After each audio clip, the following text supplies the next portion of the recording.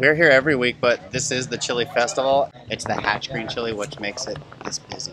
The, the business is Red's Roasters, named after my red hair. We started roasting chilies, the first name because that's the most popular. We brought out about 1,200 pounds of Hatch Green chili, and we have about 30 pounds left to go.